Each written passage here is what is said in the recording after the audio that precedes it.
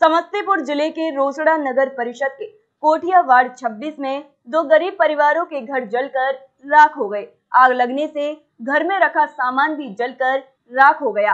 पीड़ित परिवार का जीवन यापन करना मुश्किल हो गया। जानकारी मिलते ही रोसड़ा नगर परिषद के मुख्य पार्षद मीरा सिंह एवं वार्ड पार्षद श्याम बाबू सिंह, स्थानीय वार्ड पार्षद, पीड़ित परिवार से मिलने उनके घर पहुँचे। साढ़े बारह बजे रात में यहाँ आग लगी की घटना घटी है। गरीब आदमी है बहुत।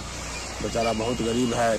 यादव जी है, गरीब है, भैंसी गाया रखे हुए थे। पूरा जल के कागज़ पत्र ज़मीन का कागज़ था, आधार कार्ड था, पासबुक था, जो भी था, इनका सब यहाँ जो है, बच्चा जो स्कूल में पढ़ता है, उसका सर्टिफिकेट भी था।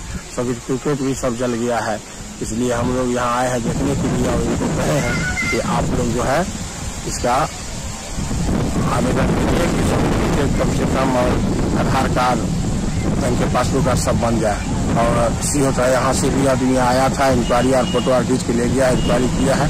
और जहाँ तक सरकार से मदद होगा, तहाँ वहाँ करेंगे। जो सरकार का आपका का होगा सी एम से भी बात हो गया है।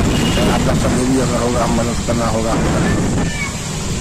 हम अपना निजी कोष से भी सहायता राशि दिए हैं कि आगे के लिए ये लोग धीरे धीरे से खाना नहीं खा रहे हैं, चिंता से इसलिए हम दिए दिन जो है धीरे धीरे कुछ धीरे धीरे अपन फिर आगे बढ़ेंगे तो अपन काम करेंगे, खाना वाना बनाने के लिए हम लोग कहें इसलिए हम अपना निजी कोष से भी उनको सहायता देने का काम किए